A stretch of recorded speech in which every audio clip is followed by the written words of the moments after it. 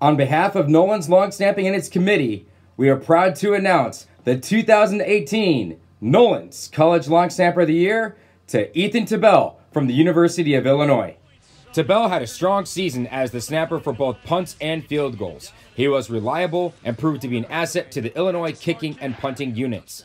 Tabell executed 61 PAT field goal snaps and helped his kicker Chase McLaughlin earn the Big Ten Kicker of the Year. He also executed 63 punt snaps and helped his punter Blake Hayes earn third team All Big Ten special teams. Tabell was beloved by the Illinois fan base in the polls, with receiving over 1,400 total votes, proving to be the most. Again, congratulations to Ethan Tabell, your 2018 Nolan's College Long Snapper of the Year.